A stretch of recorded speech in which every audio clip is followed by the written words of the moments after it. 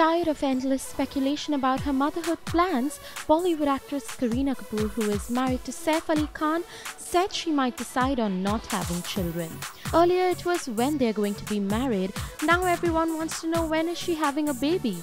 Who knows, I might even decide not to have kids. I'm just 32 and Saif already has two kids. We are not a typical Indian couple who get married just to have a child. We are modern. The 32-year-old actress said during an interview to a fashion magazine. She further elaborated that her husband has two children with his former wife Amrita Singh, hence she is not in a hurry to have kids. Well, we do not know whether this is a wise decision on Kareena's part, but we certainly would like to see the cute couple having babies.